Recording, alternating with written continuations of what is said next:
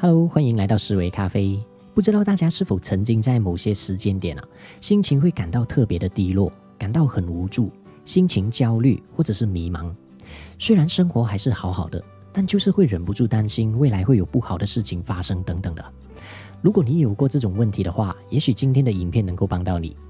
今天要和大家介绍的是 Stoicism，斯多格主义。这是来自于两千年前古希腊和罗马帝国的一套生活哲学啊。听到哲学两个字，第一印象你可能会觉得很无聊，但请相信我，这些生活哲学都非常的实用，在过去的一到两年里面帮助了我很多。对我来说啊，他们更像是一种思考工具，能够帮助你在生活中做出正确的选择，同时也能够让你的心情平静下来，用更从容的态度来度过每一天。那接下来我会分享三个影响了我非常多的斯多格思想，也希望可以为你的生活带来一些改变。那我们开始喽。斯多格主义其中一个非常有意思的练习叫做 premeditatio malorum，中文翻译过来的意思就是提前去思考最坏的结果。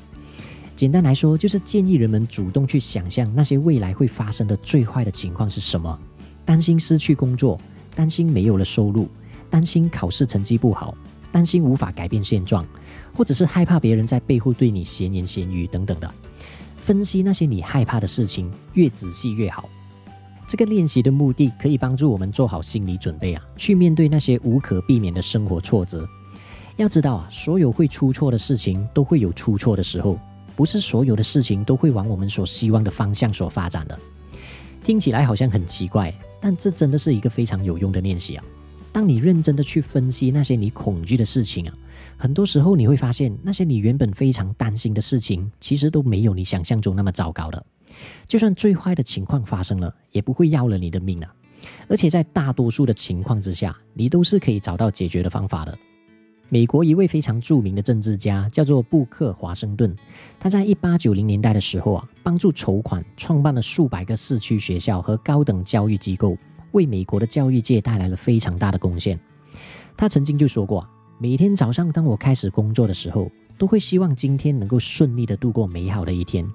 但是同时啊，我也会做好心理准备，今天会经历一些不好的事情，比如说学校发生火灾，在公众场合我会被人羞辱，或者是各种讨厌的事情会发生在我的身上等等的。对于生活啊，他总是抱着最大的希望，同时也做好了最坏的打算。这么多年来啊，他就是秉持着这种生活态度，让他能够在高度压力的环境当中依然保持镇定，完成了许多伟大的成就。而这种生活哲学其实就是来自于两千多年前的斯多格思想啊。一位很有名的斯多格哲学家塞内卡，他写了一封信给他的学生啊，建议他的学生应该主动的去体验一下贫穷的生活。他在信里面就写道：找出几天的时间，在这段时间里面，你要心甘情愿的吃最廉价的食物，穿最粗糙的衣服，然后问问自己，这就是你所恐惧的事情吗？你必须提前磨练自己的意志。就像那些士兵那样，在没有战争的时候，他们会进行演习，进行许多辛苦的训练，因为只有这样，他们才能够战胜那些无可避免的战争。如果你不想在危机来临的时候感到害怕的话，那就在危机来临之前训练自己吧。其实我们也可以将这种方法应用到生活当中啊，比如说可以给自己一到两个星期的时间，想象一下自己的财产只剩下一百块美金。然后去体验一下，在这种极端的情况之下，你会做出什么行动？你会打算如何重新出发呢？这种练习可以有效的打开你的想象力啊！也许你会吃最便宜的食物，到图书馆上网，睡地板，把日常消费降到最低等等的。最后再问问自己，这些就是你最害怕的事情吗？通过这种模拟的练习啊，你会变得更容易的得到快乐的，也会更懂得珍惜自己所拥有的资源。而且更重要的是，你会更勇敢的面对生活中的挑战。这里也想介绍大家看看一支来自于 Gary Vaynerchuk 的影片，大家可以从十分钟那段开始看。大概的意思就是，如果你有能力每个星期都买上一杯星巴克咖啡的话，那你拥有的资源其实已经超过了非常多的人了。你要做的不是抱怨自己没有机会，而是静下心来看看自己所拥有的东西，问问自己可以用你有的东西来做些什么。斯多格认为啊，不断去接触自己害怕的事情，那你的恐惧就不会那么大了。我之前也有分享过一个关于 Tim Ferriss 打造的恐惧设定的影片，里面就介绍了很多可以帮助人们克服恐惧的问题，大家有兴趣也可以找来看看。也许有些人会认为啊，总是去思考最坏的情况，就是一种非常悲观消极的态度吧。但其实这反而是一种乐观的态度啊。就像前面所说的，盲目的相信每一件事情都会往最理想的方向发展是不现实的。降低你的期望值，当事情变得顺利的时候，你反而会得到更多的快乐和惊喜的。提早为最坏的情况做好心理准备，那你的内心就会平静下来了。你不会再因为那些模糊不清的恐惧而陷入焦虑或者失眠，因此你就可以空出更多的精力去做好当下最重要的事情了。这会让你整个人放松下来，你也会变得更果断的去做出行动了。记住啊，抱着最大的希望，做好最坏的打算。而接着另外一个非常有价值的斯多格思想叫做 “memento mori”，思考死亡。许多人都非常抗拒讨论死亡这个话题啊。因为想到自己将来有一天会离开，本身就是一件不愉快的事情了。但如果你仔细的去想一想的话，这其实是一种逃避现实啊。因为无论你接不接受，每个人的生命都是有限的，这是一个客观的事实。也因为如此啊，斯多格认为思考死亡其实才是让你快乐的关键。因为当你真的意识到生命是会在任何时候结束的，那你就会更加的珍惜你现在所拥有的时间了。对于生命，塞内卡就说到：“生命并非短暂，而是我们荒废太多了。We are not given a short life, but we make it short。”在《论生命之短暂》的那本书里面呢，他建议那些荒废生命的人应该反思自己的一生到底浪费了多少的时光，回想一下自己花了多少时间在抱怨，花了多少时间在无精打采、得过且过的混日子，花了多少时间和家人朋友吵架。甚至随便找些娱乐来消磨时间等等的。如果生命就在这一刻结束的话，你是否会后悔自己没有好好运用过自己的时间呢？到头来啊，我们真正活过的那段生命，仅仅只是一小部分而已。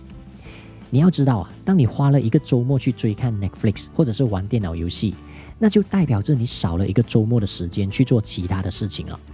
这并不是说有什么不对啊。但也许你在做出某些决定之前，可以去先衡量一下哪些事情你该少花一点时间，哪些事情你该多花一点时间。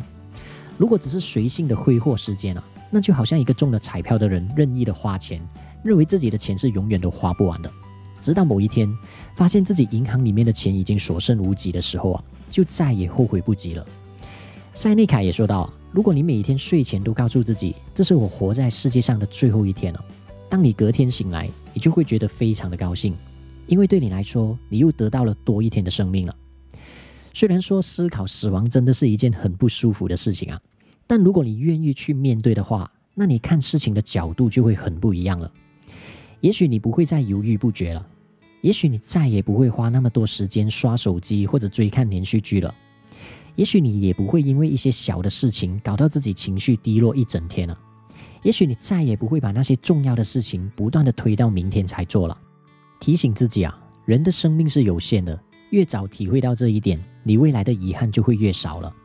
这里也想推荐大家一首五月天的歌曲啊，叫做《如烟》。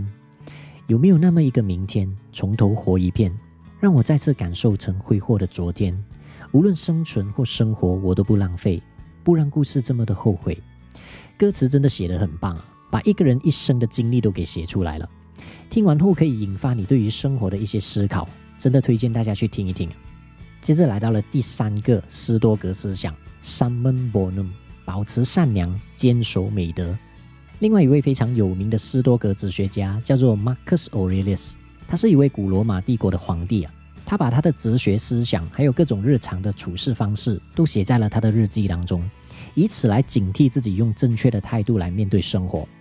后来，他的日记被集结成书，流传了下来，也影响了好多个时代的人那本书的原名叫做《Meditation》，中文的版本书名叫做《沉思录》。他认为啊，遵循美德就是面对所有问题的一切答案了。Just that you do the right thing, the rest doesn't matter。我们都听过很多类似的故事啊，就是说一个人生前做了许多坏事的话，那在他死去之后就会下地狱受苦了。而斯多格则是认为啊，如果一个人纵容自己道德沦丧、犯罪、欺骗，还有各种自私自利的行为的话，事实上啊，这个人其实已经活在地狱之中了。你可以想象一下，如果每天的生活都充满着欺骗、尔虞我诈、猜测别人的意图、妒忌别人的成功，或者总是想要在别人的身上得到好处，这些负面的想法会不断的侵蚀一个人的内心啊。你可以想象那种生活是不可能会快乐的。对于道德观念啊，查理芒格就有说过一番话，他说：“对于生活，诚实就是最好的策略了。”有些事情，就算你能做，而且做了也不会受到法律的制裁，或者不会造成任何的损失，你也不应该去做的。你的心里应该有一条道德底线。如果你能够一直保持诚实的话，那你就不用一直记住你的谎言了。其实一些道理就是这么简单了，只是有些人可能在生活中经历了一些事情之后呢，就会渐渐的把这些道德观念给遗忘了。这也让我想起了前一阵子读过的一本书，叫做《Give and Take》。作者 Adam Graham，他试图去研究好人是否真的会比较容易成功，也在各个领域收集了很多有趣的案例啊。他发现到啊，那些不带任何私心去帮助别人的人啊，虽然短时间内不会得到什么，但长期下来啊，这些人都在各自的领域上面取得很大的成功。美国第十六任总统林肯就是一位非常经典的付出者，专门研究林肯的学者啊，就形容林肯的个性非常的善良，他总是以别人的利益为先。就算那件事情对自己一点利益也没有，他也会尽力的帮助对方的。虽然他这种总是不惜牺牲自己的利益为别人付出的行为啊，常常会给他带来很多的麻烦，但随着时间的积累，这些付出渐渐的为他带来了别人的好感和信任，让他在未来得到了更多的帮助和支持，也间接的让他在政治上取得伟大的成就。回过头来看啊。那些当初看上去好像是自我牺牲的决定，最后反而为他带来了很大的优势。一位知名的企业家 Chip Conley 就说过：“做一名付出者，并不会帮你赢得一百米冲刺，但却可以帮助你赢得马拉松。”在生活中啊，你可以尝试放开自己的心扉，对遇见的人多释放出一点善意，不要带任何私心的去帮助别人了，保持善良的过生活，好事终究会发生在你身上的。而且很神奇的是啊，你越是不带任何私心去帮助身边的人的话，你就会越容易得到快乐了。就算你只是单纯的在内心里面祝福别人能过得很好啊，或者只是为陌生人提供一些小小的帮助，这些小小的事情都会让你变得更幸福的。当下你的内心也会变得暖暖的。当然啦，在生活中我们难免会遇到一些混蛋或者是一些很难的事情，但请不要因为生活遇到了不好的事情就改变了自己的道德观。要知道世界这么大，从几率上来看的话，你遇到十个人当中，可能就有一到两个人的道德是有问题的。最好的应对方式就是不要让自己变成下一个混蛋了。马克思在他的日记里面也说到，让我们沮丧的不是事情本身，而是我们对于事情的看法。It's not things that upset us, it's our judgment about things。我们无法控制外界发生的事情啊，但我们永远都可以选择如何做出反应的。除此之外啊，嫉妒会让你对那些比你成功的人抱有敌意，而且往往你会拒绝向他们学习的。相反的，如果你愿意保持谦卑，卸下一些武装，尝试去发现别人身上值得你学习的地方，这种想法反而可以让你得到更多，也会让你的生活变得更有意义啊。通过上面这些分享，你会发现斯多格的中心思想其实就是帮助你去分清楚你眼前什么事情是可以控制的。什么事情是你无法控制的？然后把你的精力放在你能够控制的事情上面。Tim Ferriss 就形容说，这是一种超能力啊！你无法决定别人怎么对你，但你可以选择去善待你遇到的每一个人。你无法决定你的生命有多长，但你可以选择如何运用你有的时间。你无法阻止问题的发生，但你可以改变看待问题的态度，把每一个问题都当作是一次可以让自己变得更好的机会。Obstacle is the way，告诉自己啊，你永远都是有选择的。那希望今天的影片能够为大家带来一些帮助和启发。如果想要支持这个频道的话，也欢迎加入思维咖啡读书会，每个星期更新两期的读书音频，一年和你一起阅读一百本书。如果有兴趣的话，可以点开下方的链接了解更多。再次谢谢大家的支持和鼓励啊！记住啊，无论你在经历着什么困难，你都不是独自一人的。那我们下个影片见喽，拜拜。